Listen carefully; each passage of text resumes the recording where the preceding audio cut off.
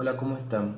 Quería traerles el caso de Sabrina Monteverde, una chica cordobesa que padece de fibrosis quística. Esta es una enfermedad que es hereditaria e incurable, en la cual se forman mucosidades en los pulmones y no permite una buena respiración. Uno de los síntomas es la neumonía.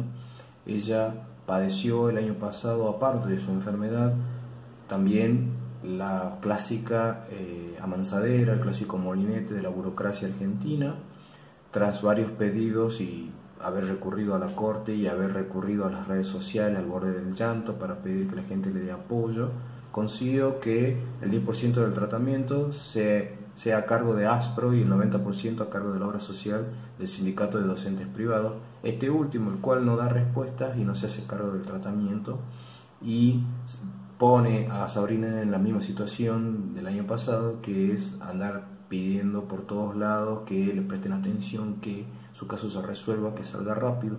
Sin embargo, no veo ningún, ningún monito, ningún chimpancé, nadie que vaya a ponerse el pañuelito, a cantar a la plaza, a prender fuego, a pintar.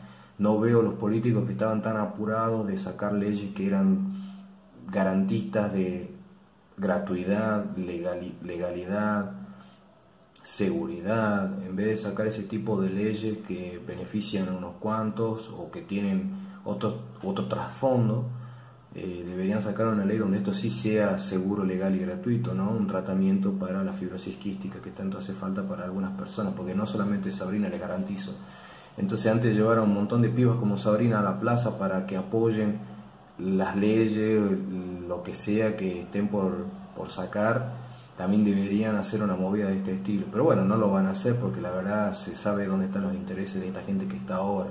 Recuerden siempre antes de elegir a sus representantes que estas cosas siempre sucedieron porque están ellos siempre en el poder. Yo los invito a que apoyen a Sabrina, su Facebook es Sabri Monteverde, para que puedan eh, traer más información y puedan darle todo el apoyo que ella necesite. Gracias.